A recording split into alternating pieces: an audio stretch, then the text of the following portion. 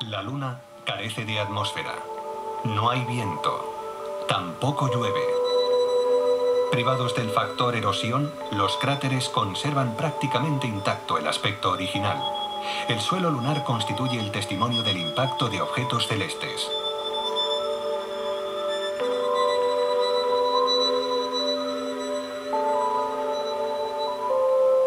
Kaguya cuadriculó y examinó el suelo lunar, acumulando indicios y pruebas. La Luna ha proporcionado todos los elementos necesarios para emitir una hipótesis fiable sobre el origen de la vida en nuestro planeta.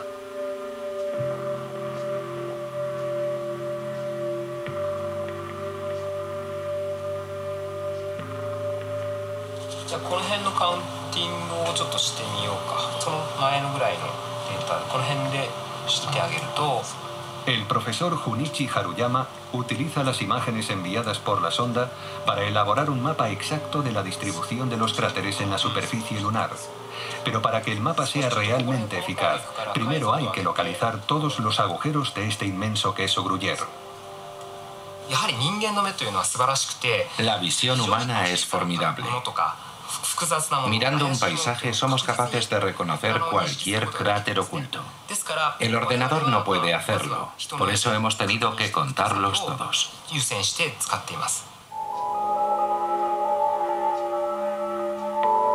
Miles de cráteres han sido catalogados. La Luna tendría más de 3 millones. Actualmente somos capaces de estudiar el número de cráteres con detalle y precisar cuándo chocaron los asteroides con la Luna, el peso y la cantidad.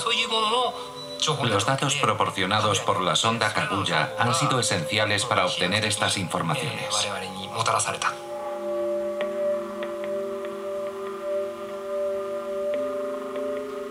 Los científicos pueden saber la edad de los cráteres estudiando el estado de degradación. En función de la edad, un cráter estará más o menos recubierto de polvo. Después los comparan.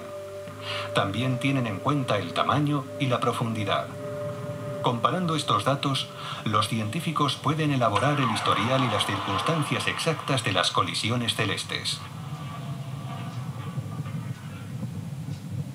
Hace 4.000 millones de años el número de impactos sobre la Luna aumentó. ¿Por qué razón? La vida apareció en la Tierra en la misma época. ¿Existe alguna relación entre ambas circunstancias? Al principio los científicos pensaron en la explosión de un cometa fuera del sistema solar como causa principal de la lluvia de cuerpos celestes, pero eso no explicaría el gran número de colisiones. Así que siguieron investigando y observando en busca de nuevos indicios. Los nuevos telescopios superpotentes han permitido observar zonas hasta ahora inexploradas y sobre todo captar imágenes de cuerpos celestes en movimiento. La doctora Fumi Yoshida del Observatorio Nacional de Japón cree haber descubierto a los otros culpables, los asteroides.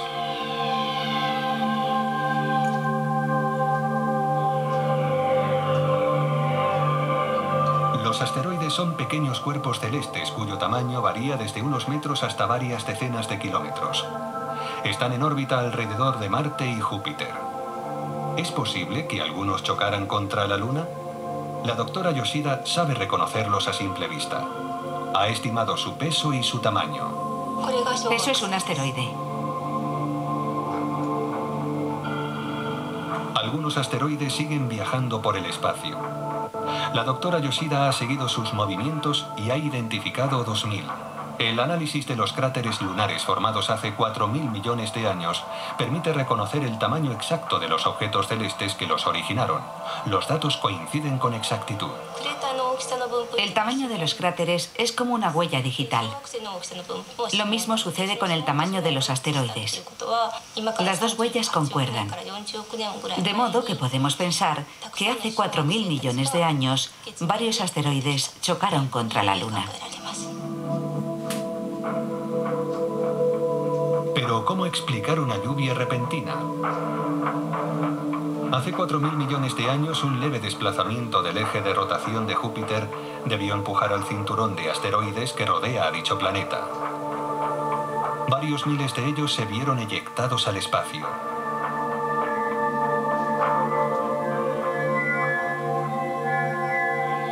Algunos chocaron contra la Luna, otros cayeron en la Tierra. Las consecuencias fueron muy diferentes.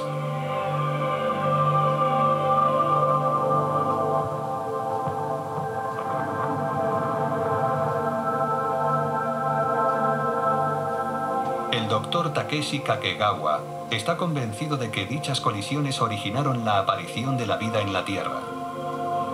Cree que la presencia de ciertas sustancias en los asteroides podría haber desencadenado algunas reacciones químicas en el momento del impacto.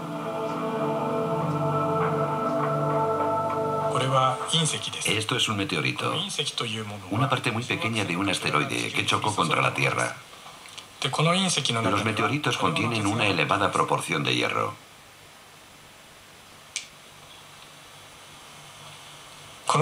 Creo que el origen de la vida hay que buscarlo en las grandes cantidades de hierro introducidas en los océanos en aquella época.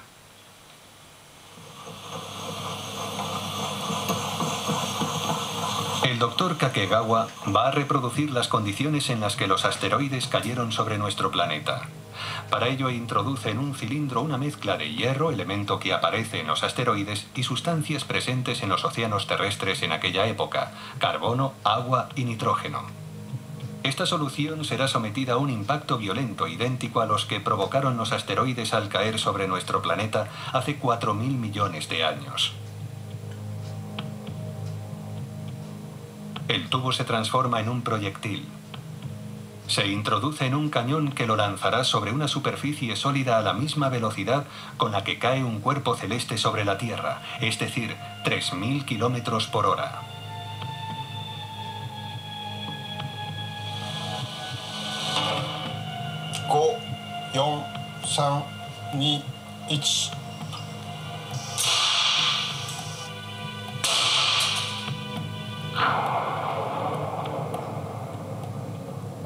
El proyectil se pulveriza debido a la gran cantidad de energía liberada. Durante el impacto, la temperatura en el interior del cilindro alcanza los 6.000 grados Celsius. La presión es 6.000 veces la presión atmosférica normal.